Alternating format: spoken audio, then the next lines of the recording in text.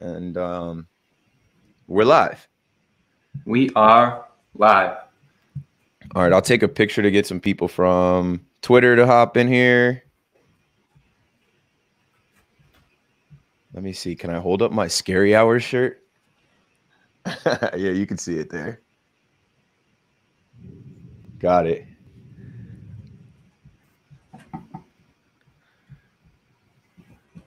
Okay. Let's go get this link from YouTube. Hopefully the power doesn't drop. Uh, and hopefully this storm isn't too long. Hopefully it passes. We got the notification squad already up in here. Slick Nick, sports fan, Luis Mina, Real D, 50. Okay, I see y'all. Copy look, I mean, look, I'm not no one's new. Say foreign like, but look, it's gonna be it's gonna be different. Some people are saying the series doesn't start till we go to Milwaukee. I don't think that's true. I think uh, if you're gonna talk about demoralizing losses, for the Bucks. Those were two just absolute kicks in the face. So, I mean, I think the series started. I think there's something to say for being cautious. You know, maybe say Nets in five so we can win it on home court. But look, the Bucks aren't haven't put up much resistance so far, so I'm not stressed. Nah, I think we gave them way too much credit. I think I think everybody did, honestly. I think we gave them hella respect. I mean, Khris Middleton shooting up bricks. Giannis can't hit a free throw, can't score points, can't play defense, just getting embarrassed. PJ Tucker inserted in the starting lineup, puts up a big zero. Two, he put up he put up in the last game he put up two points and three pairs of shoes. He's simply built different. And what I mean, they just they just don't have a response. Their their bench players that we thought might show up just aren't. I don't know. I mean, obviously it's only two games, four game series. Things can change quick, but on it, the, the only bad thing coming from this series is Harden. On the last episode, like I said, the key to the series was James Harden. He's not even gonna play. He's not even gonna play the series, bro. They literally might just have him sit out. We'll see. We'll see. We're obviously gonna talk. I mean, look, I sent out the tweet. I sent out the tweet. I said, KD talking to James Harden said, look, take the week off. Take the rest of the week off. And I do. I mean, I agree with that. Mike said, I don't think people are giving us enough credit. I think that's true. This week, we saw the narrative switch. We saw it switch from the things that they think might go wrong to the NBA needs to step in. The NBA needs to change this. The NBA shouldn't have let this happen. The league folded. This should be illegal. The team should be dismantled. How is this allowed? We got to change the rules. And if well, that's your argument, if that's the narrative that people are pushing now, then you know we've already it. won. That's the last right? leg. That's that's the last excuse they've got. Super team. Y'all ruin the league. Oh, Durant can't win unless he's on a super team. That shit is goofy. Y'all let this whole thing happen. If you listen to Talking Nets and you listen to us from when we started this in 2019, knowing we had KD and Kyrie, and then we added James Harden. We didn't think we would get James Harden, but we were beating the table for it. We were like, yo, if there's even a possibility of getting James Harden, you go get James Harden. And now you're looking at this team without James Harden because they're like, oh, this was the plan whether we got Harden or not. 7 Eleven is always open. These two, KD and Kyrie, bro, they're on one. I, I love it. And you can't even just say them. Brooklyn. Everybody. everybody. Oh Sam Wow. And we're doing this like without James. Jeff Green. Like Mike James in there. I, Reggie Perry, our guy, Brooklyn or talking Nets alum, he was out there hitting back to back threes. Even TLC's hitting his shots, putting the Nets up had 49. Me had me so hyped. Oh my goodness. It's it, that was just that was laughable. That was laughable. And I, the Barclays Center, man. I, I mean, uh, we got to save it. Let's save it for the podcast, Heath. I got so much to say on this episode, and I think so do the fans because we have quite a few voicemails to listen to today. Bro, there's so much. I saw I tweeted I was like, we're gonna rock for an hour because there's so much to put in this episode. My apologies for being MIA literally in Milwaukee, Wisconsin. But uh we will give you everything we've got for this episode, and, and I think we'll cover it all. So all right, we're uh queuing things up right now. And let me get the Bluetooth speaker. and we should be good. After that, let's see. Yeah, so many voicemails. It's just energy, man. Nets fans' energy. And wait till I tell my my little story about having tickets to both of these games and not getting to one. And um, you know, even being on Milwaukee sports radio in Milwaukee, I was like, this is crazy. Ooh, we got Timo Frankfurt. Greetings from Germany, international Nets fans. I think that's my first German Nets fan I've seen. A lot oh, of French, a lot of Italian. Let me jump. But we got chat. Timo in there. Me see what same name as a man who uh, who can't finish goals except for against my Man City. Whatever, that's fine. Wonder if anybody got that soccer reference. Probably not. This is a Nets podcast. This is a basketball podcast. Yeah, no, I don't. I don't know much about the soccer, football, round ball, basketball. All right. I am now recording on my end for the pod. It looks good. Wavelengths look right on my end for the pod. Um, I will count us in and give me one second because there's just so many things on here. Not sure if y'all heard that. Both me and Keith are dealing with a storm. So if we drop off all of a sudden, uh, it's yeah, because well, we got stormed out. We got lightning most out. of our most of our friends joining us are in the New York, New Jersey area. They're probably going through the same storm right now. I'm I'm hoping that it doesn't kill my power. Honestly, Timo doesn't like soccer. Okay, that's fair. That's fair. That was that was presumptive of me to assume. He's in Germany and says he doesn't like soccer. Get the Euros coming up. That's clownish. Whatever though. That's Whatever true. though. Let's talk basketball. This is a basketball podcast. Yes, sir. It is time. Um, just making sure we got the stuff for news and narratives, and we're gonna do around the association, and we're gonna do voicemails, and we're gonna do reviews, and of course, we're gonna talk about the two games. All right, here we go. Real D counting us. That's what I need. All right, good. Let's get it, Keith. All right. In five, four, three, two, one. Talking Nets, episode 109. Harden goes down, but the Nets level up. What? Like, Nets level actually hits different now because the level of basketball that you're seeing is like nothing you've never seen. But like, I, I'm blown away by it. Like, you're not supposed to. The two seed is, we'll talk about it on the pod. We'll talk about KD, Jay Williams, Lana Rhoades. We'll talk about the NBA asking the Nets to take the shot clock, or not even shot clock, the 10 second clock off Giannis's free throws off the Jumbotron. We'll talk about the energy of the Barclays Center. We'll talk about these first two games. Like I said, with Harden going down, things got scary for us. Not the scary hours that we were promised, a scary minute right into the game. Uh, Keith McPherson and Hudson Flynn talking Nets. Let's get it and then we play our music. Brooklyn, we go hard, we go hard. And then I come back in and I say, Yes, sir. Welcome back to Talking Nets, episode 109. It is Tuesday night and it is raining, thunderstorming. Low key, uh, I'm worried that this storm could knock my power out. So hopefully we get this episode in before anything like that happens. And we got a lot to talk about, folks. Sorry for the hiatus. Y'all know I was out of town. I was in enemy territory. I know y'all saw the videos and some of the other stuff, but I'm back in Jersey. Hudson is in New York, and we're here to hold it down. Hudson Flynn, can you say hello to the people?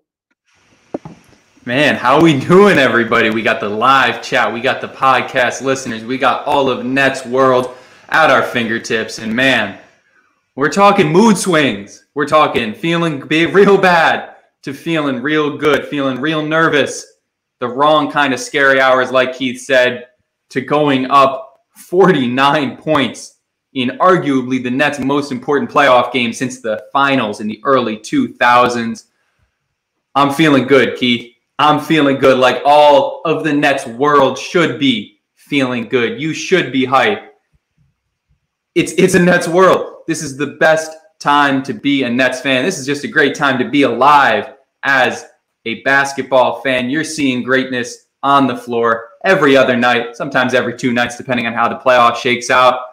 And man, I'm loving it. But I don't want to. I don't want to. I don't want to vamp too much. I don't want to spend too much time talking because we got a packed podcast. We got reviews. We got voicemails. We got all of that. But Keith, let's get into it. Around the league. Uh, oh, we're going right into it. So we're gonna start off with news and narratives. Past couple episodes, we didn't do any news and narratives, but we got some good news and some narratives today. I'm gonna get right into it and play this from y'all. It's a soundbite from Jay Williams on ESPN on his show. Uh, Keyshawn, Jay Will, and Zubin. Honestly, I don't really check for it, but today I was looking for it, and this is what was said. I'll tell you a story real quick. A couple years ago, we are at a holiday party for KD's business, okay? And we're all there, everybody's hanging out. And I went on TV on Get Up that day and said, Giannis was destroying people in the league. And I said, you know what? When I think about Giannis, it's like AD and Kevin Durant had a baby to a degree. Size, length. I'm not saying skill set. I'm just saying the way he played, right? Gave the breakdown. Kevin Durant comes up to me at the club and says, Yo, don't you ever compare me to Giannis again. Don't you ever do that. I was like, Kev, what are you talking about? Calm down. First off, I'm talking about scenarios like stylistically, the way you guys play a little bit, size, length. He's like, nah, don't ever compare that dude to me. Don't do it. I felt that in his voice at that moment that when this matchup came up, I'm like, oh, this is a proven moment opportunity for Kevin to show everybody he's not on the same page with me. Until- okay, where do we start? This is where I would like to start uh, because, man, there's degrees of separation between myself and a few people involved here. Uh, friend of mine knows Jay Will very closely. Text me about this, and I'm just trying to think about this situation, right? If you're at a holiday party for Kevin Durant's company, I'm assuming it's 35 Ventures or the boardroom, which are one and the same. But do you think Kevin Durant is at his holiday party mad like that? Do you think he's really coming through like, don't you ever compare me? Okay, now it's it's a he said, she said type of thing. But for me, as a grown ass man, for me, as someone in the industry, any conversations that are off record should stay off the record. Any conversations that happened years ago, almost two years ago, or over two years ago, I don't know, should not be used on national television, ESPN, for any reason. You could have potentially spun that another way instead of trying to tell a story and then verbatim give us a quote, which I'm I'm washed myself. I, I know Jay Will is washed. I guarantee you his memory of how that went down couldn't have been 100% intact. If it's a holiday party, there are probably drinks involved. So when I saw that this morning and I saw KD come out and he called Cap, Cap, Cap, Cap, Cap, Big Cap. He said, This is a fucking lie. Jay Williams can never speak for me ever. And I was pumped, yo. I love that KD uses social media the way he does and defends himself. And even if you don't believe KD, even if you think this is something that KD said, it was off the record. It was two years ago. And Jay Will, you going outside, bro. This ain't the first time. Jay Will also got got by a fake ESPN meme that someone made with a quote from KD, and it wasn't anything that KD said. And like the same thing with Shannon Sharpe and these guys. And that's why KD came out today and said what he said. Hudson, did you catch this this morning or were you not beat for all this nonsense first thing at like 9, 10 a.m.? So I saw the quote come out first, and I it just had the you know the the inflammatory part. Don't ever compare me to him, whatever, all that. And I was like, did did someone? Because like I watched the post game, no one asked him that. Jay Will doesn't isn't on the media team. I don't know how he knows that Uh, all that aside, you made all the great points about keeping privacy private and all of that stuff two years ago. You probably don't remember, right? Drinks were involved, whatever. Putting literally all of that aside, let's say that it is true. Let's say that my man at a holiday party hosted by Kevin Durant's company really got up in front of other human beings and said that Giannis was a combination of AD, which I see, I see part of it, and and Kevin Durant. Have you watched Kevin Durant play basketball? I like, damn sure did last night. I know Giannis did too, and I know Giannis does not have any of KD's game in his bag. What are you talking about, Giannis? Uh, look, he's a good basketball. He's a very he's a superstar. There, first off, there's levels to this on greatness, but also That's just not how Giannis plays. Did you see the things KD was doing? KD, 90% of his three pointers in this playoffs have been contested. He's made 50% of them. I don't even want to look and be disgusted at what Giannis's three point rating is. I don't want to know what Giannis's mid range percentages are because they're garbage, because they're not the same. And honestly, I don't even want to know what Giannis's interior field goal percentages because KD probably hasn't beat there because KD is the best player in the league. There is no comparison to be made. There is no game in anyone's game. It's just clownish that you would, after that game that happened last night, would get on the television and go in front of the nation, national TV, and make that type of clownish comparison and admit to saying that to score some type of publicity points for your ESPN show is just sad and ridiculous. And he should receive every single bit of hate that he's getting for that clownish behavior. Bro, he doubled down on it. He went on Get Up and said the same shit. Like after you said it the one time and KD flamed your ass, you should have just left it at that, bro. So KD goes on Twitter and he says, "Mans will do anything to advance their careers in this media shit, wanting to be accepted by an industry that will dispose of you whenever they please." Keep me out all that corny ass talk about who's better and legacy and all that dumbass shit. I don't even talk like that. Think about what he's saying, right? KD is writing his own legacy. We are blessed to get to watch it. We, we are witnesses, some might say. He doesn't want to be involved in these narratives and these talking heads and this back and forth, right? Yes, it's a series against Giannis, but KD was going at Tatum too and locking up Tatum too. It's whoever's in front of him he's going to go at. They have to create this whole narrative of, oh, it's personal between KD and Giannis. Well, we were on the podcast last time saying, no, it's personal between Harden and Giannis. And Harden ain't there. So KD is just handling his light work. Giannis can't check him. Giannis can't shoot like him. Giannis like I don't I don't know where it even comes out of a former NBA player analyst mouth to compare those two or talk about AD and, and KD having a baby. Nah, that's why you listen to Talking Nets. That's why you listen to the Fanalyst pod because these analysts will say anything. They will literally say anything. That's what you decided to lead with, Jay Will. Come on, Brody. That's what you decided to lead with after you saw arguably, and my, I, I was telling people last night that was the best playoff game we've ever seen from the Brooklyn Nets. Best playoff game ever at the Barclays Center. I wasn't even there, but I knew because I my that's my spot. Like I know I could tell. Everything I was seeing from there, I'm like, yo, Barclays Center is on tilt. Let's move on, man. Not too much time on that, but I know I, I know this morning. I'm like, I'm putting this in the notes. We're gonna lead off with this. We're gonna address it because we control the narratives around here. Now, there was another narrative floating around that has nothing to do with basketball. I never even heard of this chick. Are y'all familiar with Lana Rhoades? The chick that came out this week and said she went on a date with a Brooklyn Nets player and he brought a side chick in. He brought a second date. Now that's gangster.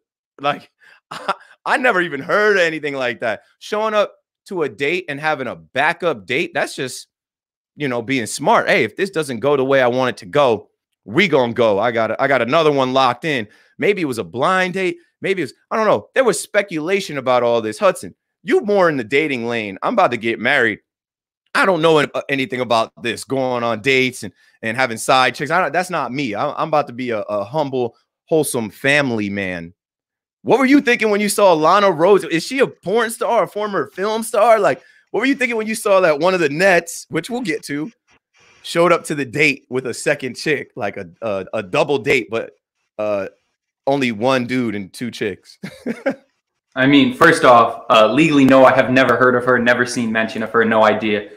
Uh, off the record, though, this is what she's been doing. She's been going around the podcast circuit. She's been on about like 16 different like podcasts. She was on Dave Portnoy's podcast. She has her own podcast.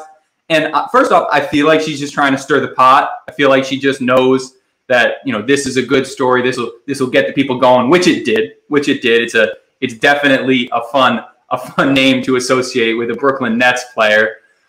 But at the same time, and we'll get to, I know Keith wanted Keith, Keith didn't want to drop out who it probably is, but I think everyone's seen the story. Look, it's that's who he is, man. It's just you just gotta have gotta have your plans ready for the night. And if you are, I mean, any member of the Nets world, but if you are number seven, the slim one, if that's you, I mean, shoot, like you can. That's just what you can do. That's just what you what you are allowed to do, especially if it's Lana Rhoades, and especially if she's just out there like to get a story. It sounds like so. Honestly, good on whoever it was, Kevin Durant, whoever it was. He's a Libra, the only Libra on the team. Whoever it was, good on you. And Lana Rhoades, enjoy your publicity because uh, I think that's what you wanted, and you got it. Yeah, well done. I laughed at it. We didn't post it because I knew we were going to talk about it on the pod. Maybe we'll clip this up and post it. But yeah, that's funny, man. I just I like to envision KD doing whatever he wants in real life the same way he does whatever he wants on the court. God level. That that dude is is ridiculous. I just, you know, sometimes I dream that he is me. No, I'm just kidding. I said I'm gonna be a family man. I'm gonna get married. That's why that's why the first I saw someone throw Kyrie out there. I'm like, nah, Kyrie's engaged. He got a whole kid. Like, don't put Kyrie's name in that. We support Kyrie. I had to dead that with somebody I was talking to, but yeah, let's move on. Obviously, I segued from the Jay Will stuff to the Lana Road stuff because I knew there was only one option there for who that could have been. But let's get back into this series, the Buck series. The NBA has asked the Brooklyn Nets, BSE Global, the Barclays Center to remove the stopwatch on the drum the jumbotron and and I'm tight because I had tickets to these first two games and I couldn't get there. I wish I could have seen it with my own eyes and I wish I could have been with the Brooklyn Brigade who was counting down and keeping Giannis honest at the free throw line but the Nets have been told to take down the Jumbotron by the NBA's request. Adam Silver's probably like, you can't do that to our MVP. It's embarrassing. He's already getting embarrassed enough. He's not really good at shooting free throws. He needs at least 12 seconds. Mr. Whammy, shout out to Mr. Whammy because I just need a reason to shout out to Mr. Whammy. If you don't respect Mr. Whammy, like somebody says something wild out of pocket about Mr. Whammy, it was actually like one of them uh, Knicks fans said something like, oh, Spike Lee will kick his ass. I'm like, what are you even talking about? Don't even disrespect our agency like that. That's our super fan. That's our guy. And he's got power in there. Hudson, what did Mr. Whammy and Mrs. Whammy do last night that affected Giannis and had Giannis seeing Mr. Whammy in his nightmares? Giannis was missing free throws, obviously, but he was missing more than normal. Oh my goodness. Giannis went up there. First off, no free throws made in the first game. When he saw the coming at him, when he saw the fingers coming from Mr. Whammy, he forced all those Giannis misses. I think Giannis might have made one or two free throws the entire game, and he had a, a bunch of options. That's just it's just the Mr. Whammy magic. It's just what he does. And a little behind the scenes content. I was I was putting out a clip. I wanted to put out a clip of Mr. Whammy because they cut to him on the broadcast. You know, before Giannis um, eventually did miss a free throw. And I was going to send out the whole clip of Mr. Whammy getting shown and then Giannis missing the free throw. And by the end of it, it was like 25 seconds long because Giannis was taking an hour and a half on his free throw. And I was like, I can't post. I can't. You're not. No one's going to get the joke. No one's going to watch that to the end. It's just too long. It's just too, too, too long. But look, whatever the Nets are doing, whether it's on the jumbotron or coming from the block, coming from the brigade who were so loud and so amazing and did not stop the countdowns just because the Nets took it off the Jumbotron. It's working and it's all working. And Barclays Center is the place to be. And TNT, they've been known to, to, to tune down the crowd noise a little bit so we can hear the, uh, the uh, you know, the Alzheimer's infused musings of Marv Albert, you know, talking about our Brooklyn Nets. But we could hear it on the TV and it was just rocking in there and all the videos we got and everything we saw was huge and it's making a difference. We really are the six man. We're dispelling another narrative, the whole no Nets fans narrative, which is another one that Knicks fans and other people have resorted to talking about.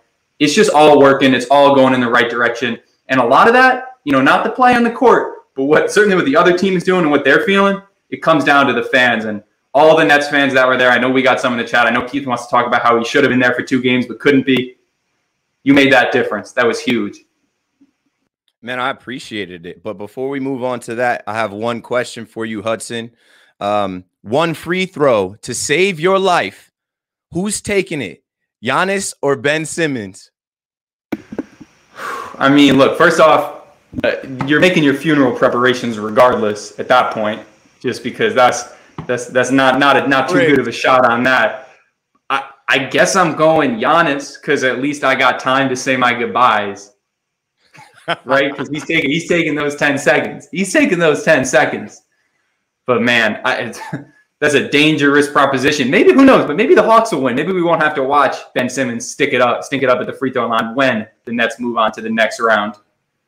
Great segue because we were going around the association and we weren't doing news and narratives, but it's playoffs. We got to go around the association. There's less teams playing. Hudson and I have been ready for this where there's less teams and less teams, and then it's just going to be the Nets and some other team in the West.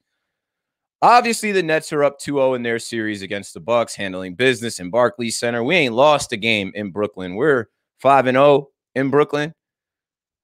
The Suns lead the Nuggets 1-0. I watched that last night. Chris Paul did what he had to do late. Book laying on his back on the floor.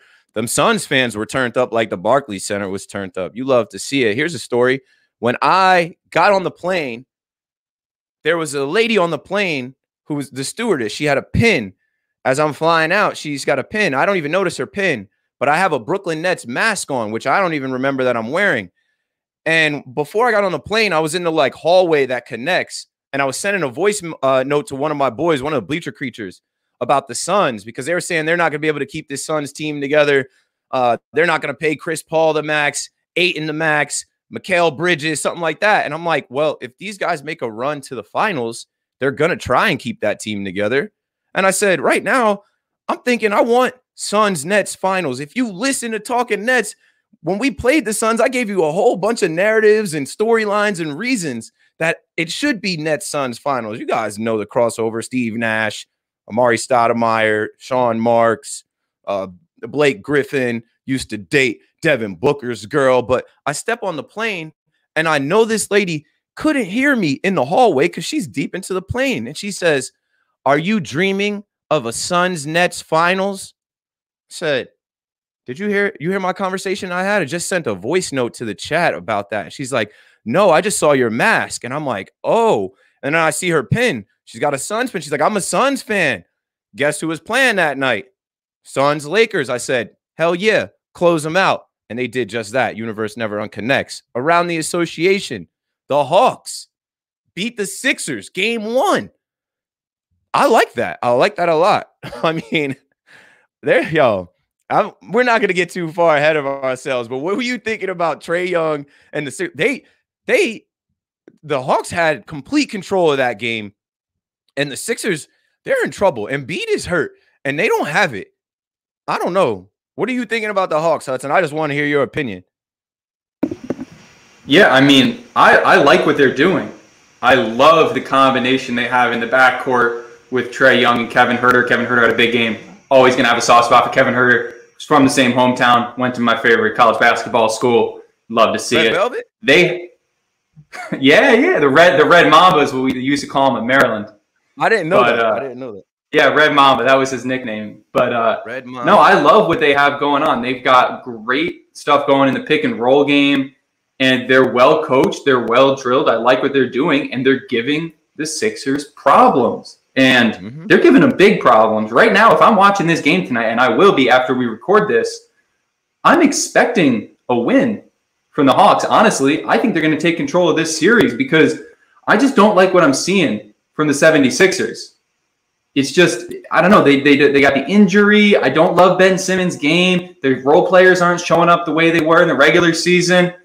I don't know. They, they maybe they you know get the gentleman sweep. They prove me wrong, but right now, the Hawks look really good, and the Sixers don't look like they have that same level of confidence that they're going to need to be able to really dispatch with this Hawks team that just got through a great, fun series against the Knicks where they shut them out in you know a bunch of games except for that one.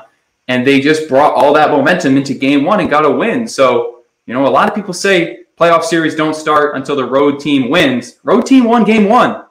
Let's yeah. see what happens next. Maybe they flip it. Maybe they they pull a Mavericks and they uh you know they they take both home games for the 76ers. But I'm liking what I'm seeing from them. And if I'm the Nets and I'm looking towards the next round, look, they're going to be a threat. They're going to pose a threat. They're, they're a good team. They can shoot. If anyone can score with the Nets, I think it's that team.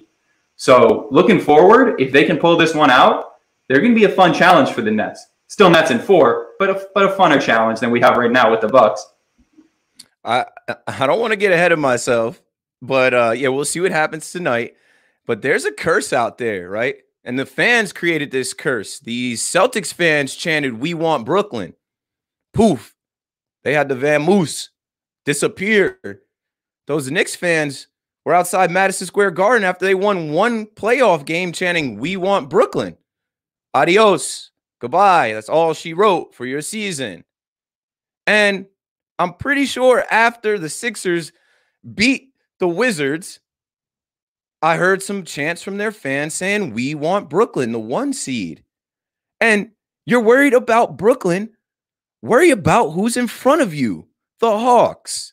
Can't wait to watch that game tonight. Nets fans, you should watch every playoff game. I've been telling y'all that the whole time. Check it out. And last but not least, the Jazz and the Clippers will play tonight and open up their series. What a hell of a series that was with Luka and them. I mean, went seven, and I knew once they got it back to the Staples Center and the Lakers were out, I'm like, Kawhi, they're going to close them out. That's done. So, all right, now it is time to talk about our games. Game one, Saturday night. I am at the wedding, literally watching the game on my phone. And the first thing I see is James Harden come down. And I didn't have the sound on, but the next thing I saw was him walk into the locker room. I tweet, Why is James Harden walking into the locker room? I got some quick answers from people. I literally turned my phone off. And I decided to be present with my friends, family, my girl, people at the wedding, even though inside I was freaking out. I was like, this is my worst nightmare being realized. This is what a hater wants. This is what the whole world wants to see. I pray for health. And as soon as the game starts, we lose James Harden, who I said is going to be the key to the series. I can't believe my eyes. I turned my phone off. Hudson rocked on Twitter. And I'm going to pass it to Hudson and tell you what he was feeling in the moment and then what he saw from the Brooklyn Nets who decided, wait, wait, wait, wait, wait, wait. Uh, don't panic. Don't panic. We just getting started, baby. Don't panic. Hudson, what were you thinking behind the controls of Talking Nets Twitter when Harden goes down and the internet explodes? I was feeling what everyone else was feeling demoralized, tragic. It was just absolutely crushing. Just a minute into the game, the first his first layup attempt, he comes up pulling holding the same hamstring that he hurt before, takes himself right off the court, and you know James Harden is not one to take himself out of games. It crushed me. And I was worried that it was going to crush the Nets because after, you know, I, I, finished being sad for myself and then and you know, being sad that maybe the Nets don't have the same future we thought that they had.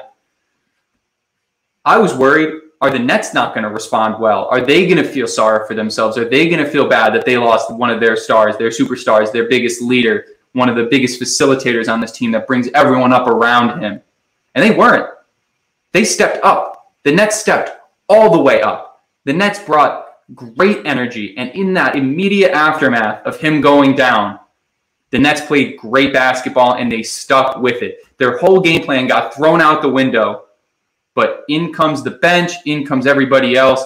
Seven, 11, and the rest of the crew got it done. Joe Harris hit threes. Everybody was hitting their shots, and it was huge. And it was great to see that even though they had that huge loss, they weren't going to go down without a fight. And they fought and they finished that first quarter well, and then they brought that energy through the rest of the game. But I was just feeling, I felt, I felt sad, but then I felt great because the Nets aren't done. The Nets are not going to go quietly into that good night. And obviously, looking back, we know how they finished that game and then the next game. But those initial moments, I think, were crucial. And it was just really great to see the Nets react so well to what was really just a complete disaster to start game one. Bro, when James went down, I didn't know what to do, what was going to happen, but people started giving me updates. And then one Mike James Harden emerged. And I was like, what a wild reality we live in that Mike James, we didn't even know if he was going to be with this team for the playoffs. He was in Russia two, three months ago. What a wild reality that we're going to get 30 minutes from Mike James in game one. I'm just like, I can't believe it. I like it's Nets level hits different now because the Nets just raised their level. Guys were ready. How about Blake Griffin, dude? When I checked the box score, I'm like, people were talking about Blake Griffin not shooting threes. He shot nine threes. He made four of them. Blake's game, man, Blake has activated Brooklyn Blake. I have nothing else to call him besides Brooklyn Blake because this is the version of himself that he he wasn't doing this in Detroit. He's created another version of himself, dunking the basketball, shooting the basketball, obviously playing defense, which you got to speak on the defensive impact he makes. He's starting. Man, it did it it didn't hurt this team losing Harden. They regrouped. Now that is something that I guess because the Nets have dealt with this all year, they don't really panic. Oh, KD's out. That's fine. Next man up. Next man up Nets. That's definitely a title of one of our podcasts from months ago. Oh, Harden's hamstring is hurt. He's to miss a lot of time. Oh, well, we got KD. We got Kyrie. We're fine. Oh, Kyrie's on a leave. Kyrie's got to handle some personal business. Not a problem. Somebody else will rise. I, I just love this team. And now you're starting to really see some of the role players Landry Shamet, Nick Claxton, Bruce Brown. And what do we say on this podcast? The world will get to know them through this playoffs run. Yes, it's the big three. Yes, it's scary hours, right? Scary hours is James Harden's term. And the scariest of hours we saw was in game two. Let's move on and talk about game two. Now, it crushed me, bro. I am in Wisconsin. I'm in Milwaukee, Wisconsin. Saturday night, I have VIP tickets, uh, seats 19 and 20 in VIP section 25. I wouldn't even make that up. I almost wanted to throw up. I'm like, why am I in Wisconsin? I was in Wisconsin for my boy. He was getting married. I wouldn't have missed it for anything. But then I wake up the next day and I go to the Fiserv Forum. And I think I told y'all on this podcast I was going to go over there and disrespect that spot. I was going to leave some Talking Nets energy there. And I came through with the Talking Nets sticker. And my boy was filming, and I just said, boom, let's put that talking Nets sticker right on the Bucks nose and take a video. That video was great. I did another video pointing at their sign. It says history in the making. And I talked to some Bucks fans at the wedding and some people out there that were confident. Shout out to the Milwaukee radio station, the game 97.3. I have to shout them out because that Saturday, I'm driving from Chicago to Milwaukee they reach out to Talking Nets on Twitter. Hudson's like, yo, they want somebody to come on and talk about the Nets. And I'm respectful. So I go on. I literally get to my hotel at 1050 and I go on the air with them at 11. And I don't disrespect them. I was definitely on some Nets world talking Nets energy. But I was like, you know, maybe if the Bucks come out and punch us in the mouth in the first game, this series can go seven. But honestly, I think it's going to be Nets in six, maybe even five.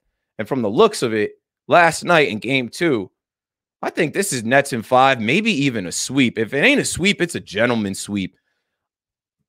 I, I fly back from Chicago yesterday and there's thunderstorms. The the the flight out was only 90 minutes. The flight back was three and a half hours because they had to dodge all of the storms. I had tickets last night, good tickets last night. Couldn't go.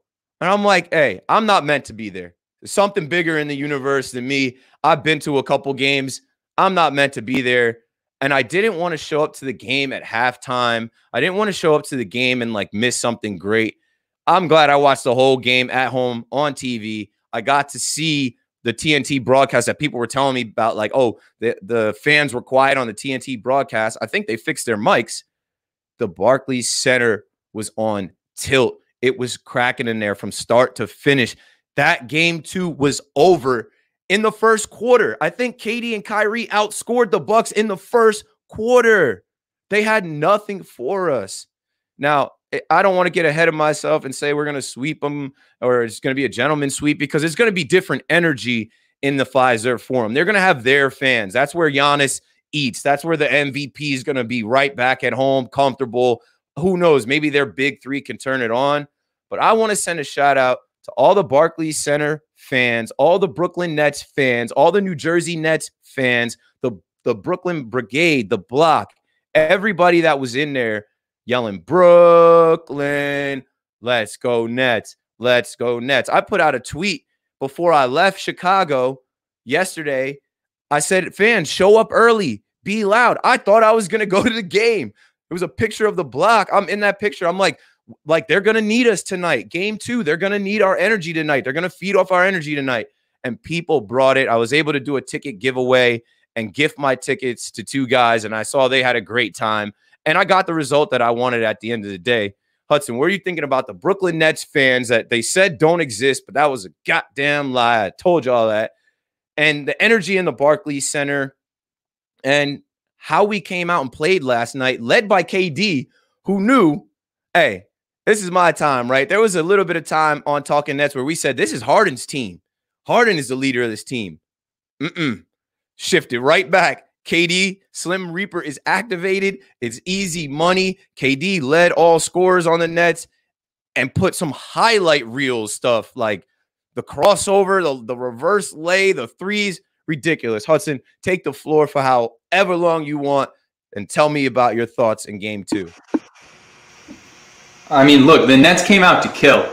They came out ready to annihilate the Bucks, and that started with 7-Eleven with Kevin Durant and Kyrie Irving. They came out just ready to absolutely dice the Bucks, and that's exactly what they did. They were taking turns embarrassing Giannis in particular. Giannis was getting switched on to Kyrie. They were hunting the Giannis switch for Kyrie so that he could blow by him, so that he could hit him with the dribble moves and take the three. It was unstoppable. You talked about the first quarter KD crossover that he had on the right side, on the right elbow, and then he took that midi shot. Beautiful. Giannis embarrassed. Kyrie takes a three, takes a little step back three to start off his scoring, hits it. Giannis embarrassed.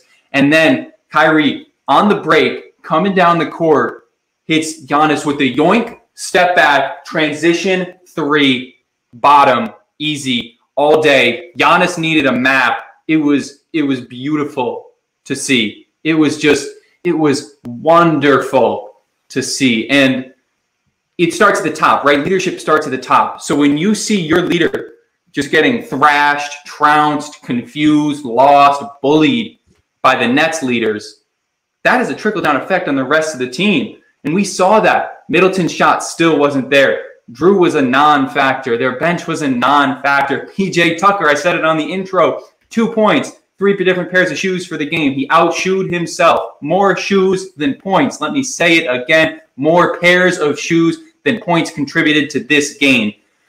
And that's just the way it was the whole game, right? The first game, we saw some scary hours at the beginning, and then in the third quarter, the Nets pulled away. This game, wire to wire victory, but not just a wire to wire victory, a wire to wire domination a wire to wire annihilation. It was just different. We were up close to 30 points going into half. I think it was 24. And then we took that 30 point lead. And then the fourth quarter, oh my man, we had the Brooklyn Bubble Nets. Bubble Nets versus the world. Timothy Luwawu Cabarrot and Reggie Perry, talking Nets alum, diced them up to put the Nets up 50 points. Oh my goodness it was an embarrassment. It was an annihilation. And the Bucks didn't even know how to act. They had, you know, rookies that don't get playing time at the end of that game trying to start fights with Tyler Johnson, who you know from when Kyrie got the bottle thrown at his head is absolutely willing to take anyone's smoke and give it right back to you. It, it was just wonderful. It was magnificent. And I'm just going to echo what I said on Twitter during this game. Nets fans, everyone in the chat, everyone listening, everyone that follows us on Twitter, Instagram, Facebook, everywhere you deserve this. You earned this. We were fans when no one cared about the Brooklyn Nets, when we had one national TV game a season, when we didn't think that anybody was going to their games. They couldn't give away tickets to games. We had 12 and 70. We had Billy King. We had that famous Summer League photo where we had all the people who, if you can't name, you're not a Brooklyn Nets fan from the olden days. The Dwightmare, the Dwightmare, the Dwightmare. We had everything. We had thinking that Jay Z was going to bring LeBron to the Nets. We had everything. We put in the long hours, and now here we are. We're on top. That's what all of that has led up to. That's what everything that Sean Marks has done has led up to. That's everything that Joe Tsai has done. This is what it's led up to. And now you should feel good about enjoying it. I don't care if Knicks fans are going on, you know, New York Talk Radio and saying the NBA needs to step in and stop the Brooklyn Nets. They're too good and it's not fair to the rest of the league. It's no fun. If that is what people are saying, then you did it right. You built it right. We built it with no draft picks. We built it with no money. We built it with an aging roster, with nobody that you could even name. And here we are at the top of the league. And we deserve to be here. And we deserve all the admiration. We deserve all the glory we're going to get and are going to keep getting for the rest of these playoffs. So, Nets fans, just enjoy it. We built this with culture. We built this with grit. We built this with just an attractive team, right? The hip hop influence, the the Biggie jerseys, that D'Angelo Russell year. That's the year that inspired talk, talking Nets. If you see our graphic now, we got the Basquiat. Yeah, that's more culture. That's the Basquiat Brooklyn legend that we've embraced. Only the Nets can pull off a city edition jersey that features a rapper and a and a, a artist, a painter, right? Shout out to Kenny Atkinson. Kenny Atkinson took a bunch of guys that nobody wanted and figured out how to win, figured out how to get into the playoffs. Even give Lionel Hollins some love, not too much, but some love. Like it, it took a while to get here, man. And people are gonna always discredit you and always try and devalue your success because they're lame, because they're whack. I I can speak to that personally on my own. like they're just gonna look at you win and try and say every reason reason why you shouldn't be getting the credit, why you shouldn't be what you are. And I think the the world is seeing now this is a Nets world. I love this game. I saw someone in the chat mention Tyler Johnson getting into it with uh Mamadi Diaki. I don't like I can't even know to, I don't even know how to say his name. I, I, just called him a Wesley Snipes, Dennis Rodman, Cisco looking ass boy. Like came in the game for five minutes and stiff armed Tyler Johnson. It's like, bro, you look so lame. Your whole team is lame. They don't even have your back. Like Reggie Perry could have handled you, but we're not even on that time. And another thing that I saw on Twitter that I like, people saying how classy us Nets fans are. You don't hear us saying F Giannis. You don't hear us saying F anybody.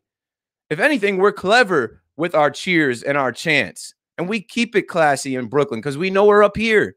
We know we're at the top. We know we're the best. What else from this game? Oh, on the anniversary, when we're talking about Nets history, Drazen, Petrovic, we're we're looking at the anniversary. I, I don't know. I think he passed in 93. I don't know the math, the uh, the the math. Um, 18 years ago. Man, we're we're looking at his anniversary. That's a Nets legend. They brought back the 91 jerseys this year. His energy was in there. They said Kyrie shot 50% from, from three. We were burying threes, making it rain in there. I posted a picture of the homies that came in there with an umbrella. Nets fans, that's just clever, right? Even if it rained that day, you could put your umbrella down. Man's is indoors, kept his umbrella up. like, I love that because it was wet in there. They made it rain. And I think there was some other records set. I saw that, you know, 39 points was the uh, the 39 point win was the largest um, franchise record for largest margin of victory in a playoff game. I said that was the best Brooklyn Nets Barclays Center playoff game we've ever seen. I did not see it live. I wasn't meant to be there, but I love it because all I'm about is the results, whether I get to go or not. I put somebody in those seats. What else from this game? Um, 21 threes. I think that's what they compared when they talked about Drazen. I think we hit 21 threes in this game had our our way, like our entire shot fifty percent from three as well. Ridiculous. That's Drazen energy in there. That's Drazen energy in there. And you know, Tyler Johnson, we got your back. Mr. Whammy, we got your back. Shout out everybody. Doug Barrick, that was in there, giving us some stuff to post. Man, I'm just I'm so proud of Nets fans. I'm so proud to go to another state and rep the Nets this hard, especially as a Yankee fan right now. The Yankees are I don't even know. I don't even know why I'm mentioning them on this podcast. Y'all know I'm a Yankee fan, but last time I was in the Barclays Center, I was like, thank God I have the Nets and talking Nets right now because the Yankees are embarrassing. And we're in a, a, a, different universe, man. There's been a shift in the universe. Nets world, baby. Um, anything else from this game, Hudson? Kyrie's no look pass to KD in game one. I have in my notes. I wanted to talk about that. It's just swagging uh KD's crossover of Giannis and then the reverse lay. And you talked about KD All shooting. too much. Bro, nobody can contest him up there. Nobody is getting up there to like it's it's unbelievable. Harden is on this team. Uncle Jeff is on this team. We're fine without him. It's crazy. It's a We're crazy. We're falling out. I mean, it's just ridiculous. The Nets as a team are in the 40 50 or 50 40 90 club, however you want to say it. Kevin Durant is shooting 55, 50, 91. It is ridiculous. Nah, the, hold the on. Nets, the Nets are just on a different level. They're just doing the most, and they're doing it like nobody else has ever done it before. And the last thing I would say I'd like to highlight on the game, aside from the Blake Griffin dunk on Giannis when that, we knew the game was over, over. When we knew the game was over, over, when he put it over Giannis, oh my goodness, was the fact that Kevin Durant and Kyrie Irving immediately after the game, where what did they do? They went right to their families and they hugged their families. K- KD hugged the real MVP. Kyrie hugged everyone who he was with. I believe actually uh, someone for uh, city attorney in New York, uh, a candidate, he was uh, a guest of his there as well. He was uh, he was talking with, and just to see that, to see the family energy is just it's great. It's amazing, and it just it just makes me happy. And then I got sad because I had to get brought all the way down when that dumbass ESP or TNT courtside reporter went up and asked KD "Did you think you would be the same after the injury?" And KD goes, "What? What the the fuck kind of a question is that?" Yeah, of course I did. Like, I, I don't get like what are these reporters on that they want to ask these questions? And like we know a lot of Nets beat reporters, they'd never ask questions like this. No, they would never. It's they, the national reporters looking for gotcha takes who don't have any relationship with these players that just want to get a headline and want to get their name in the paper so bad that they ask these dumbass questions and force KD to tell you to shut up. And like after game one, when he said, "Shut up, Stefan," when Stefan Bondy asked him a dumbass question. Like he said, I wouldn't tell you. Idiot. I, I would just, love to speak on that. I would love, I would love to speak on the question that KD. Uh, well, first, Tahanie Aboushi NYC. I'm pretty sure that's her name. I'm just reading it off Twitter. Um, Kyrie went right to her after the game. It just shows you the type of time Kyrie's on. Now back to KD. I said this right. They act like KD died in the finals in 2019. They act like like his soul left his body and there was 0% chance that he was going to come back to life. What kind of question is that, bro? We're here in Brooklyn with the Nets. Ask KD a question about the Brooklyn Nets. Ask KD a question about this run he's having as a net. Two years was a long time, and this world changed a, a lot in the last two years. Why are y'all still going back to ask about an Achilles injury in game five of the Warriors Raptors finals. Like it's so goofy, bro. And yes, KD is extremely confident in himself, in the doctors, in the trainers, in the people that he rehab with. If I don't know if he's religious, I'm sure he's got faith in God. What did you mean by that question? Of course, he thought he was going to come back and kill. He still has a lot to prove. He's 32. It'd be one thing if this happened to this man and he was older than LeBron. He's got a lot more career left ahead of him. And that was just the second game of the second series. Like, I don't know. I thought that was a goofy question. I'm glad KD checked him. Like, of course, like I've achieved this much. I plan to achieve more. My I popped my Achilles. I didn't die. And yeah, ask me a question about this team and this journey, the Brooklyn Nets and the Nets franchise and Kevin Durant as a net. Let's stop talking about Kevin Durant and the Warriors. Let's stop talking about the finals and the Achilles from two years ago. Like we're erasing all of that now. Anyway, I think that's all we've got from the games. We've got a ton of voicemails. This is going to be a long episode. We're going to run through the voicemails. But first, upcoming playoff schedule. The next game will be Thursday, June 10th at 7:30 p.m. Eastern Time on ESPN. That's the first game at the Fiserv Forum. I already went and disrespected that place, so we're good over there. Um, the second game will be Sunday, game four at 3 p.m. on ABC. We'll see what happens. Like I said, can't get too comfortable. Can't count the uh, Bucks out. This is a team that we all gave hella respect. I gave them respect on Milwaukee radio. I gave them respect in the Bucks preview. I said I wanted it to go seven because I knew there was a chance that I missed game one and game two. I'm like, uh, if it goes seven, I'll get to go to game five and game seven. But the way that the Nets are rolling, the way KD is locked in, he's scoring 32 a game. Kyrie is following up, shooting very well. Nobody can check him. They can't guard anybody on this team. They told they told us they told us that we couldn't guard anybody. They told us that we didn't play defense. They they said to us, who's going to stop Giannis? Himself. So those games are coming up. I can't wait to watch them. I'll figure out some kind of live stream. I'll figure out some kind of setting or scenario. Um, and we'll go through these voicemails quickly as we possibly can. I mean, I, I tried to get everyone's voicemail, but honestly, when we send out, like our Twitter is getting bigger now. If we send out uh, a tweet saying hit the voicemail, that's 20 voicemails coming through. I'm like, that's cool and all, but we can't play them all.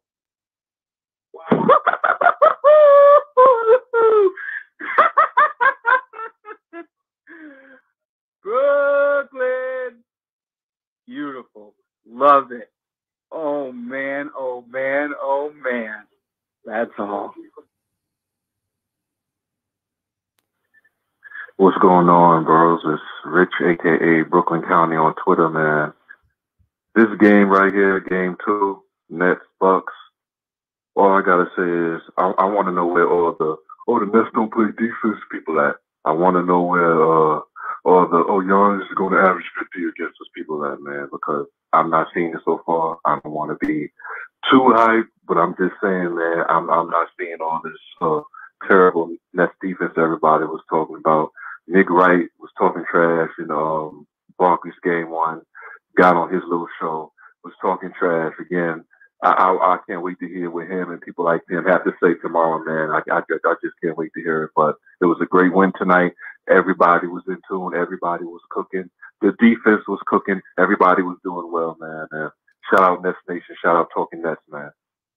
Yo, I, I would like to shout out Coach Nash, Coach D'Antoni, Coach Jacque Vaughn, the Brooklyn Nets organization for these rotations and the scheme and the time that they took to watch film and figure out how to attack Giannis and them after Giannis and them had a week off, swept the Heat, and everybody were like, oh, they swept the Heat, the defending Eastern Conference champs. And what did I tell y'all? I said, that's just got nothing to do with us. It's got nothing to do with us. Hudson. Like, oh man, they swept the Heat. It's not the bubble anymore.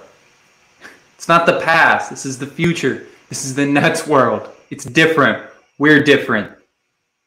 That's all. I mean, look, it's just that's the way it is. Yo, what's up, talking Nets? This is Yusuf here at Party of Zero on Twitter, calling from Albany, New York. Shout out to Hudson. Uh, so I actually made the trek down for Game One. Best game I've ever been to, and I've been to a handful of games in Barclays Center. Don't listen to anyone that tried to tell you that the crowd was not lit. That crowd was wild. And towards the end of the game, I told my friend, I was like, I sniff it. I sniff a sweep and I sniff the ring coming to Brooklyn. Nets world, let's go. Nets world, baby. He knows. He knows. Shout out to the 518. If anyone wants to watch the Brooklyn Nets in Albany, I'm here. we got to do a uh, a watch party in Albany somewhere. You can't even get in the bar though, bro. You can't even have a watch party at the bar. 518. But yeah, man, I, I am a little sad that I didn't get to experience that with my fellow Nets fans and being there yelling Brooklyn, but I already knew what time it was. I I, I knew it was going to be lit in there. Let's go next indeed. Just like the Boston series. We got a nothing lead in the series. So um and funny enough, we've won five um, playoff games in a row at home, and that's insane. Um, I I'm just in a disbelief. Hopefully, um, let's not get too complacent let's came up with a same game plan, and hopefully we'll take it to them in games three and four. Let's go Nets. Let's go Nets. Let's not be complacent. Let's go in and finish this thing. Take these games seriously because these guys are NBA players. These guys are MVPs. These guys are all stars. They are going to want to get a win on their home floor. Next voicemail. Yo, Keith Hudson, what's up, guys? Um, it's Robbie here again. Um, super pumped about this game, and I think the one big takeaway is that Kevin Durant is the best basketball player in the world. Um, quite obvious, the great performance tonight. Um, you know, when we're talking about James Harden, um, I'm hearing rumblings on Twitter and stuff that if the Nets go up, you know, 3 0 3 1 in the series, that even if he's technically able to play, that we still rest him anyway and kind of look forward towards the last couple of series. Um, personally, that sketches me out a lot. And, you know, as a Nets fan who's lived with a lot of gloom and doom, the fact of not trying to go 100% for every single game um, kind of scares me a bit. You know, I know about the re-injury with the hamstring and stuff like that, so I know it's a complicated issue. Um, yeah, so I love what love to hear what you guys have to say about that. Um, yeah, let's go Nets. Hudson, your thoughts on whether James Harden should re-enter this series with a hamstring injury? If the Nets are up 3-0 or 3-1, no, he should not. No, he should not. I, I disagree uh, with Robbie. Love you, Robbie. But uh, I disagree with you completely because this is a hamstring. These soft tissue injuries, they're no joke. James Harden is one more of these from being done for the year, out for the year, done for the season. No finals MVP for him because he's done. Like it's serious stuff, right? And even if it doesn't seem like it. You know, it's not as it's not as scary or as jarring as you know breaking your leg or you know getting like an ACL tear or something like that. This can hold them out for the rest of the year. So if the Nets are in that commanding 3-0, 3-1 lead, and we've seen what 7-Eleven can do so convincingly, but these games haven't even been close. Like adding James Harden wouldn't even do anything. It, what are we going to be up 49 and then what? We're up 79. What? Like it's it's not going to make that much of a difference, right? So if we can keep that energy, keep that momentum, there's no reason to put him in and risk that re-injury when we have games where we might need him more than we do now. And I'm usually not a proponent of playing for the future, and I usually like having the you know the possibility of ramp up time. But right now with James Harden, we know he's ramped up. We know who he is. We know he's ready to go. So I wouldn't risk it in a game that necessarily might not matter as much as games in the future. The whole plan is to win the whole thing, Hudson. Nets fans have a ring around their profile pictures, right? How many links have we filled in in that ring? We're six way through, 10 more to go. Thank you. So, in my opinion, if we're handling business and we're still filling out that ring, nah, chill. If we can handle business without Harden, rest him up. The Nets have the best medical people in the world. They know what they're doing. And if we're good, don't stress it, baby. This is the playoffs now. It's not the regular season when we're like, ah, oh, where's Harden? We need him to ramp up. Nobody is questioning the Nets' chemistry anymore. Nobody is questioning whether the Nets will be able to gel anymore. Nobody is questioning whether the Nets will be able to compete at a high level anymore. It's the Nets level now. Good morning, Brooklyn. Javi, Javi Bang. Fellas, what a game. What a game. I thought the Nets don't play defense. What happened? You know, at the beginning of that game, you went to FanDuel. The Bucks were favored to win game two. Hmm. Anybody check that final score? Anyhow, Brooklyn! Brooklyn! Yo, someone get him some tickets to go with the brigade. Get him in the block. That man's can yell. Yeah, bro. I mean, I I, I want to wrangle up all the Nets fans with that energy like that for the rest of the run. We're not done. Another one. Brooklyn. Yo, I didn't expect that the Bucks would come out and shoot that horribly two games in a row, but I don't think it matters. KD's out there on a mission. Kyrie looks like he's doing things just to prove a point. When he pulls up for threes on back-to-back possession, while the game's already in garbage time, and he just nails both of them and just looks at the sideline, he's trying to say something to people. Kyrie's putting the team on his back, played phenomenally. This series over in four. That's what I'm hoping, anyways. And then it's on to the next. Let's go Nets. Okay, this guy called twice. So I'm gonna play his next one. It's okay. He uh he had two two good voicemails. It's fine. Let's go, Nets go. I already called, but I had to say one more thing. The story of this season isn't just the story of a super team. People want to talk like, oh, just because they got Kyrie and Irving, and James Harden, you know, they're bound to win, whatever. It's boring. Let me tell you what the story of this season is. It's the story of the role players, Blake Griffin, Uncle Jeff, Landry Shamet's out there doing his best Kyrie Irving impression. This is why Kevin Durant and Kyrie Irving are so great. Is because they've made successfully everyone around them better. You can't convince me other than that. Straight up, bro. Shamet was trying to do what Kyrie was doing. He hit back to back threes like Kyrie hit back to back threes last night. I'm like, they're going all the way off. I don't know what got into these guys. Maybe they did see the odds. Maybe they did see people, well, oh, this is where the Bucks even the series without Harden. No, no, no, no, no, no. All right, two more voicemails. We almost through. Almost at the end of the pod. What's up, guys? It's Mike from Jersey. Uh, I was at the game last night. Place was rocking. They were not at the theater. Um, something I found pretty interesting. Uh, I was at Game Five of the Celtics series. Saw a lot of old school New Jersey Nets gear, um, and then last night for Game Two against the Bucks, a lot more Brooklyn gear, um, which I think speaks to what you guys have been saying. You know, as as as this run continues, as we win these games, um, and certain other teams lose.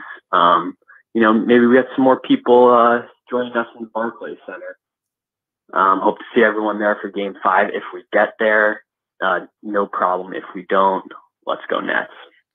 I've got to speak on that, and maybe Hudson has something to add too. Yeah, I'm like, this is exactly what I expected. We're the only ticket in town.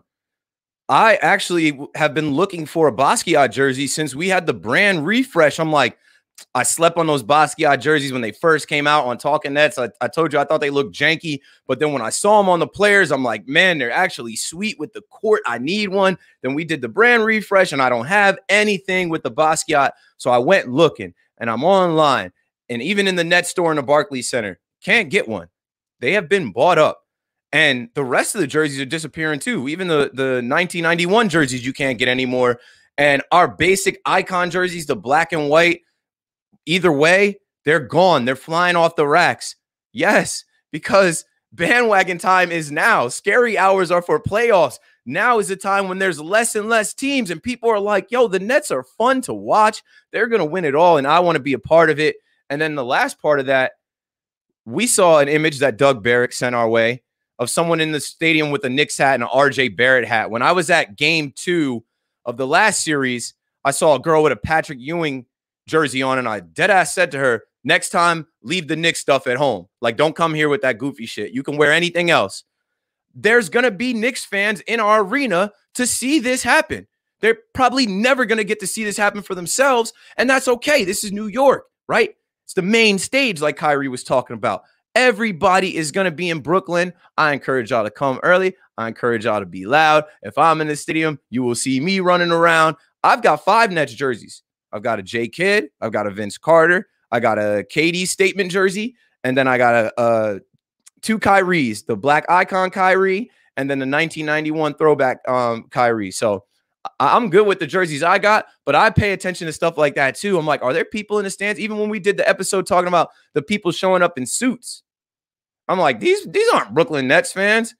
I love seeing the New Jersey Nets jerseys in the stadium hey, if some of y'all new bandwagons are going to buy the new look stuff, that's fine too, because this is going to change our fan base forever. There are kids now that want to be Nets fans that have become Nets fans. They will be rocking with this team forever. The narrative of there being no Nets fans will be dead soon. Our world, Nets world. Any thoughts, Hudson, before I play the last voicemail? Yeah, I just want to say to Nets fans, like, it's a good thing that bandwagons are hopping on, right? Like that's a good thing. Don't feel like offended. Don't be like, you're not a real shut up. Don't say that. Don't don't don't say that. That's just that's just annoying. It's a sign that your fan base is growing. It's a sign of success. It's a sign of good times. People should not care who is a fan of your team because then you're buying into the same, you know, Knicks related narratives of the Nets have no fans. And look, if you want to grow the fan base, if you want there to be more Nets fans so that Nets Knicks argument can never ever be spoken of again, this is the way it happens. This is the way fan bases grow. Fan bases don't grow in success. That's why we didn't get more fans when we were garbage. We're good now. That's how fan bases grow. Enjoy it. Enjoy the bandwagoners. Accept them because we're all Brooklyn Nets fans, and that's fine. Nobody's coming over here when we were losing. Like me as a Nets fan, when we were losing, I was ducking. I wasn't telling people I was a Nets fan. I was like, I'm a LeBron fan, and yeah, I root for the Nets. Like, it's different now. You see this in every league. There are kids across the world that are Chiefs fans because of Patrick Mahomes and them winning a Super Bowl. In the NBA, this same thing happened to the Warriors. The same thing happened to the Cavs. The same thing happened to the Celtics. Like when, like it, we've seen this before, y'all. The Lakers, the Bulls. We've seen this before, y'all. Welcome it. Our world, Nets world. Last one from our guy JJ. Hey Keith, hey it's JJ. Um, walking home from work this time uh, other than my last one where I was walking to work. Um, we win game one and two. Uh, both games very well played. Harden going down 43 seconds into game one is not the start I would have wanted. Um, I had a fun moment on Saturday night. I finished up the Sabbath and uh, in the car coming back from the youth event with my dad, and I hear Mike James is uh, showing the point, and uh, I was like, huh, that's weird. It must be in garbage time. I get home and turn on the TV, and there's still like half the game left. So I turn on my phone and I go to Twitter and I see that Harden was out injured. And I instantly went through like the five stages of grief in like a second. Like, there's no way this is going to happen. Oh no, what's going to happen next? And I realized, oh wait, we're still winning. Uh, so we win game one. Uh, and then game two is just an absolute trouncing uh, we stymied the Bucks offense. Uh, Giannis missed some free throws. Uh, they really got to start enforcing that 10 second violation. Let's go Nets. Brooke, yo, appreciate you, JJ. I had the same thing, bro. I, I had that moment where I was literally I was by myself in the wedding, and I'm like, this is what a hater wants. Harden just got hurt. The Bucks are about to turn up and steal game one at home. I had to turn my phone off. People love that. Like I was so present. I think the universe is all connected, man. For me to be present at my boy's wedding with all of my fan cave friends that I went through the fan cave with, I had to turn my phone completely off. And I did that for two, almost three hours, and we won the game. It is all good. Last but not least, out here, reviews. We have four reviews that I'm going to read quickly. We are three away from 197 reviews on the race to 100.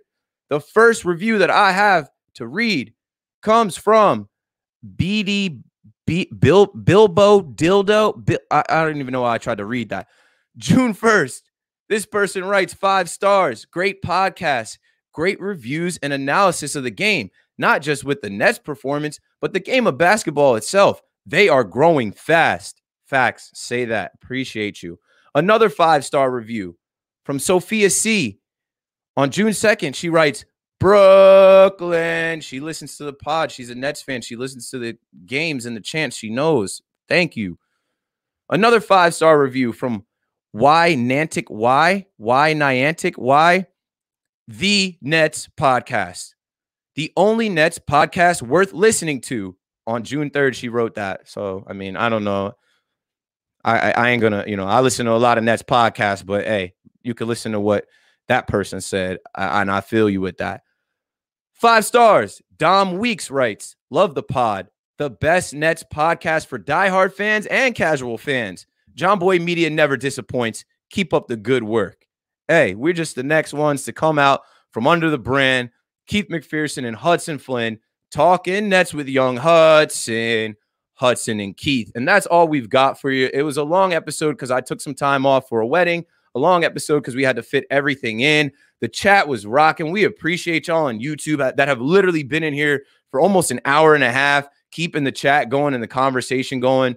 We'll be back soon with another episode after the next two games. Monday will be the next episode. But you'll see us on Twitter. We'll probably do some live streams, some stuff on Instagram. Uh, Hudson Flynn, do you have anything else to say to the good people? Let's keep it going. Let's keep the energy. Let's bring the energy from the Barclays Center. Let's put it on Twitter. Let's put it on Instagram. Let's keep the pressure on. Let's all let's all be in our homes. Let's all be watching with your friends, and let's all make sure that we're cheering. We're bringing the Nets that good energy from afar. Just keep it rolling because hopefully the next time we talk to you, we're going to be doing a review of this series.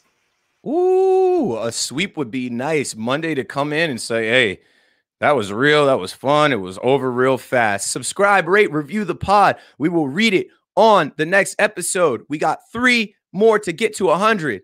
Appreciate y'all. Leave a voicemail. It's 201 870 0461. Keep it under a minute and you'll be on.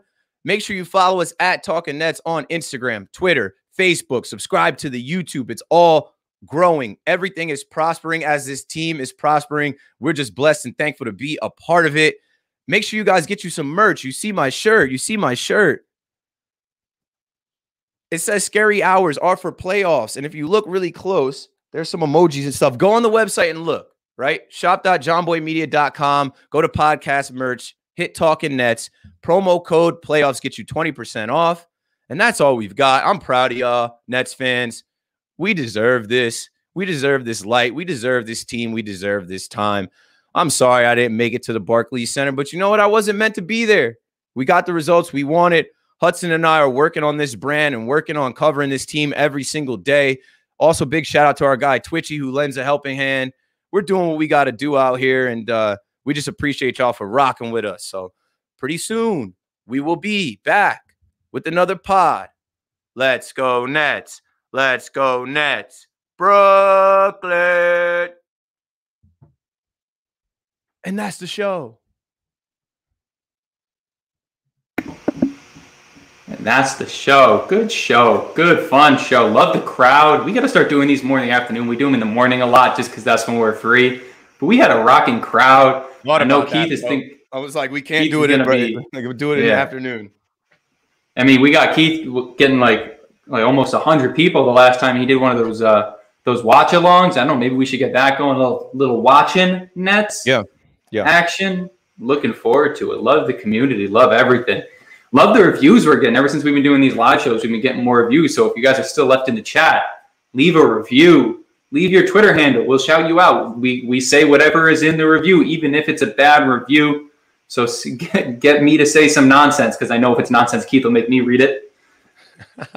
Yo, it's been so long since we've had a bad review, honestly. Like, I just went back and looked. Like, if you look at the notes, the screenshot I have, has like of, of course there's some goofies that are going to leave a one star rating or whatever but pretty consistently all the reviews are like love these guys great content nets fans best nets pod that's just man that's just a, a product of the work put in. And like i said we're prospering as this team is prospering. We appreciate you guys you nets fans we're glad that you're repping hard and like we can narrate this season for you and we can be the Nets fans you live vicariously through. You know, I saw, I think I saw Luis in there like, Keith, I only got one Nets jersey. That's all right, bro. For a long time, all I had was a Deron Williams jersey. That's all I had.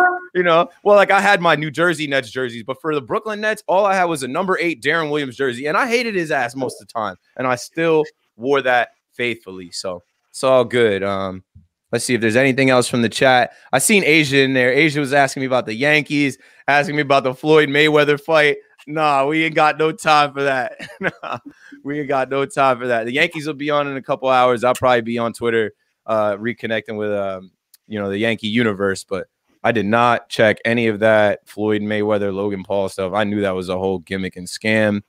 Um, yeah, that's all we got. Even. Floyd said it. that was funny. Yeah, Floyd kept it hundred. I did hear that you know, he finessed. Uh, I'm just realizing now I can um put like you see how it says Jared Williams, Nets in. Oh, look at that. Okay. Nets, Nets in four. So like when we take questions from the chat, I'll bring the bring the question up like that.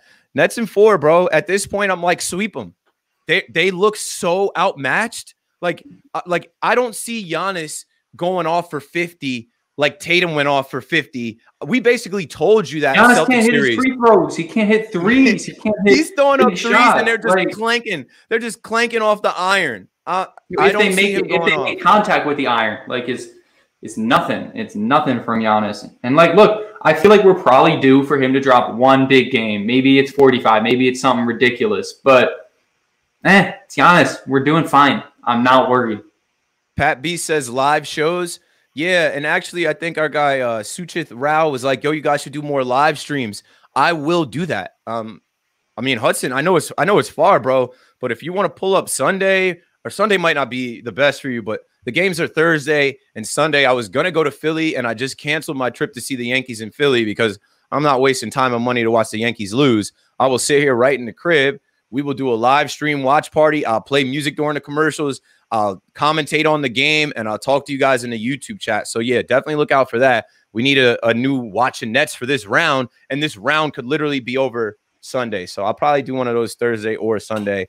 Um, I think Sunday would probably be the best bet, but I don't know. We'll see. It'll be fun. You guys get to watch me, you know, hunched over my computer trying to get these videos out so quickly. It's funny. every game, every game, I get at least one comment like, "How do you get these videos out so quickly?" It's because I'm barely watching the game. I'm like, I'm hunched over my computer not exactly the most exciting watch, but I'll be there. I'll provide some content. We'll, we'll definitely figure something out. I mean, look, if and when the Nets get to the finals, like we're, we're there. We're in the we're in the stadium, so we're going to have some vlog content. We're going to have some other stuff. I know Keith. You know, we've got some connections for tickets, so Keith is probably going to be in the stadium making some live content. It's going to be fun. It's going to be good times. Yeah, that's all we've got. I got to run. I got to edit this podcast, and I got some other things to do. But uh, once again, thank you guys. Subscribe to the pod. Send this link to somebody that's like, yo, I'm kind of feeling the Nets. Like, I want to get into some Nets brands and some Nets podcasts and connect with other Nets fans. It's right here. It's all right here. So that's all we got. Once again, Keith McPherson, Hudson Flynn, talking Nets. We'll see y'all on the next one.